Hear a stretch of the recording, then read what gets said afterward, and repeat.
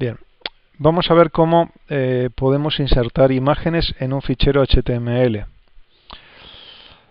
Para insertar imágenes eh, en una página web utilizamos una etiqueta que se llama IMG. Es una abreviatura de image. Y lleva, esta etiqueta lleva un atributo src, que es una abreviatura de source o fuente. Y es, y es a través de ese atributo que le decimos cuál es el fichero que queremos mostrar. Los navegadores web solamente pueden mostrar imágenes eh, GIF, JPEG y PNG. Estos son los formatos de imágenes que muestran los eh, navegadores web. Otros formatos de gráficos como TIFF, que es un formato gráfico de muy buena calidad, BMP, eh, PCX, etcétera, no son soportados por los navegadores. Eh, quiere decir que nos tenemos que limitar a utilizar los formatos GIF, JPEG y PNG. Pues vamos a hacer un ejercicio que consiste en hacer una página web parecida a esta que vemos con imágenes de fondo. Y es de la siguiente manera, tenemos el fichero HTML con sus etiquetas HTML barra HTML, un pequeño head con un título y luego el cuerpo con las diferentes imágenes. Antes que nada, eh, deciros que si queremos poner una imagen de fondo en, eh, en una página web podemos utilizar en el, en el body, en la etiqueta body de la página web, el atributo background. Y el valor del atributo background es una imagen. Eh, en esta página de aquí apenas si se nota, pero sí que hay un fondo. De hecho lo podemos cambiar por otro y, veo la diferencia. A ver,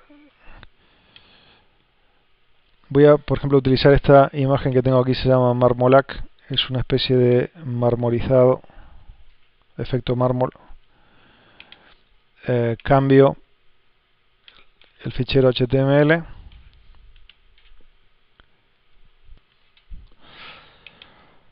Grabo el fichero y volvemos a cargar la página web. veis que ha cambiado el, fondo, ¿no? que ahora sale un efecto mármol. Ah, esto se hace con el atributo background en la etiqueta body. Bien. Luego, vamos a ver cómo insertar imágenes. Tenemos varios ejemplos aquí. Eh, primero este. Es una etiqueta image con un atributo src y el valor de la imagen. Las imágenes que insertemos pueden ser imágenes locales, que las tengamos en la misma carpeta donde tenemos la página web, o imágenes que estén en otra carpeta de nuestro mismo ordenador o servidor, o imágenes que estén en la propia web. En el primer ejemplo tenemos una imagen tomada de la página web de la universidad, eh, www.umh.es, eh, que de hecho la vemos aquí arriba. Eh, ¿Cómo hacemos para obtener la dirección web de una imagen que vemos en otra página? Pues es eh, bastante simple. Vamos a www.umh.es buscamos la imagen que queremos, por ejemplo, es esta la imagen. Coloco el cursor sobre la imagen, le doy con el botón derecho, propiedades, y en propiedades veo la dirección completa que apunta a la imagen, que es esta. Incluso la puedo seleccionar y copiar. ¿eh?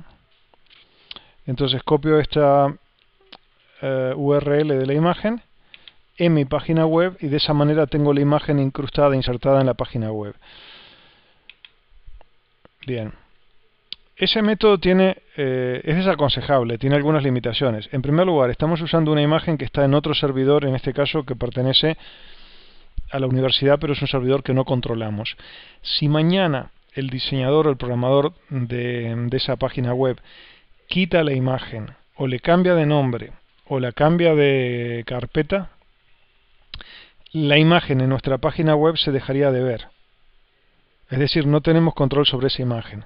Así que en principio no es muy recomendable, no es buena idea insertar en nuestra imagen, en nuestra página web imágenes de otros sitios web.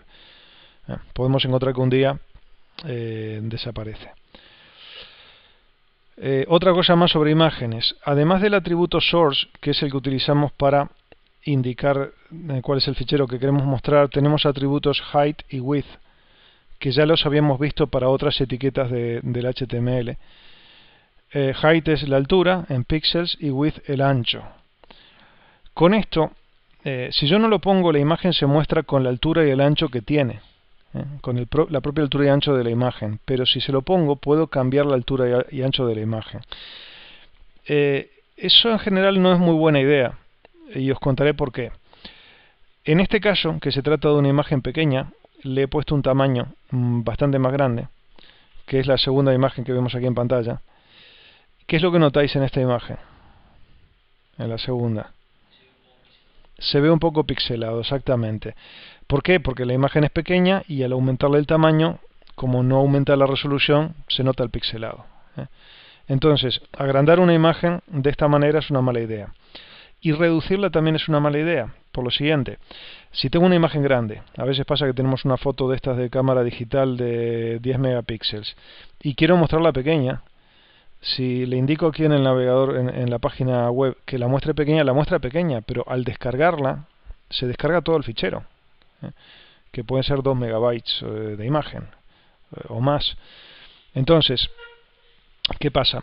La descarga de la página web es lenta. Si yo tengo una página web, imaginaos con un collage de fotos y todas las fotos son mucho más grandes que lo que se muestra en pantalla, la página va a tardar un rato en completarse. Así que lo, ideal es tener las imágenes locales en nuestro servidor, no utilizar imágenes de otro sitio y ajustarle el tamaño al tamaño exacto con el que lo queremos mostrar en pantalla. Eh, no ajustar el tamaño con height y con width. ¿Para qué sirven height y width? ¿Alguna utilidad tienen? Y una posible utilidad, una utilidad real, es reservar espacio. Porque a veces eh, una imagen puede por algún motivo no cargarse, mismo podría ser que el, usuario, el cliente que, está navegando, eh, no quiera mostrar imágenes en su navegador o que la imagen tarde en descargarse. Eh, si le ponemos el espacio, cuando se crea la página web y se empieza a previsualizar, el espacio queda reservado. Si no lo ponemos eh, y la imagen tarda en cargarse, luego cuando aparece la imagen se, se recompagina todo y da un efecto bastante feo.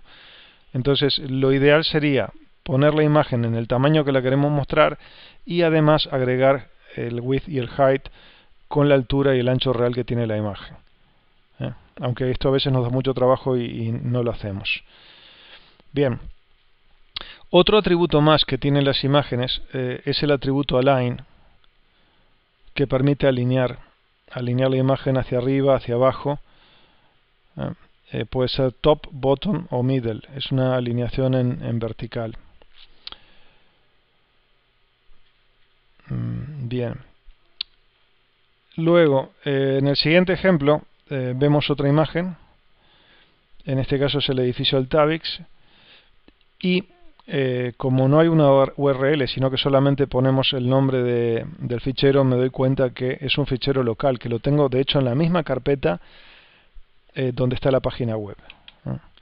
Y es esta imagen que se ve aquí abajo del edificio Altavix la que estoy seleccionando ahora. Eh, en, esta, en esta nueva imagen vemos que hay un atributo alt que ya lo habíamos utilizado antes en otros, en otros elementos del HTML que sirve para que el navegador nos muestre un texto alternativo. Es decir, si yo coloco el cursor sobre la imagen,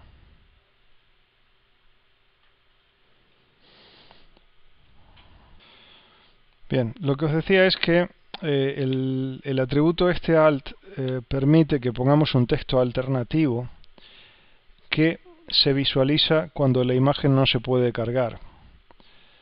Para simular esto, eh, le voy a cambiar el nombre a la imagen de forma tal de que el navegador no la pueda encontrar.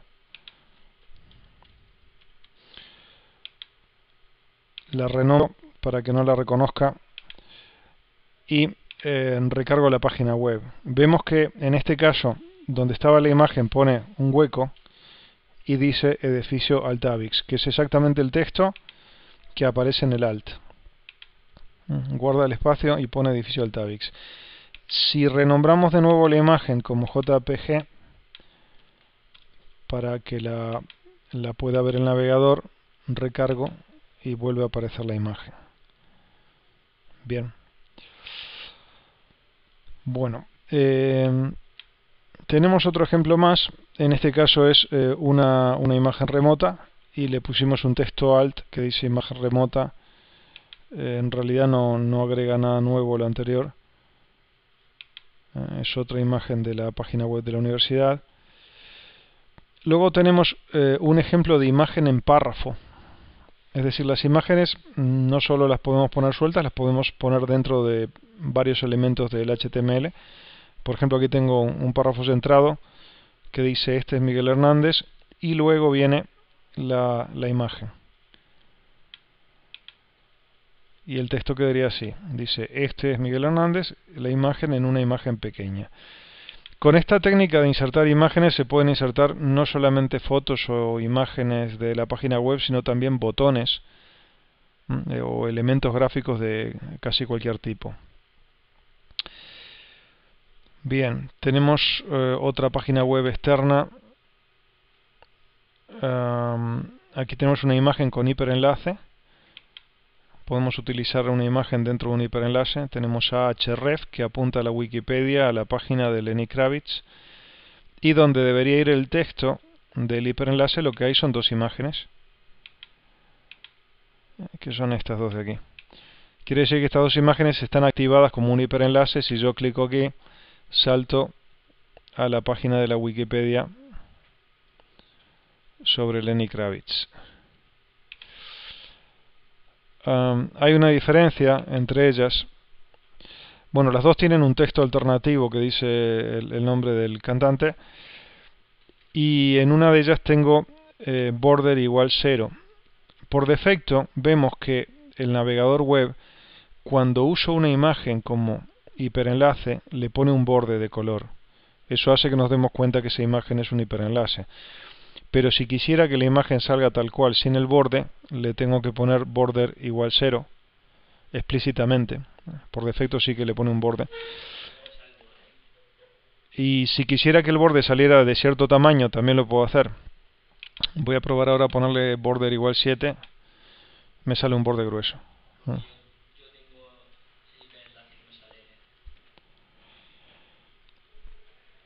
Bien, eh, vemos entonces que podemos controlar el, ancho del borde. Le voy a volver a poner borde 0, que era como estaba, recargo la imagen. Eh,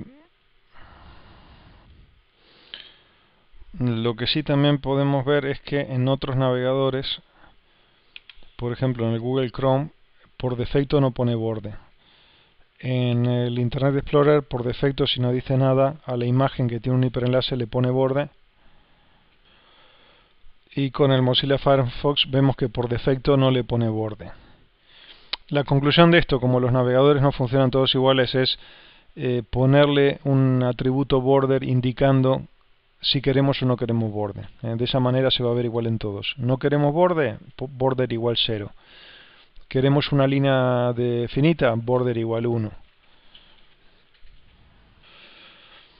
Bien, esto es todo lo que tiene que ver con eh, la inserción de imágenes en páginas HTML.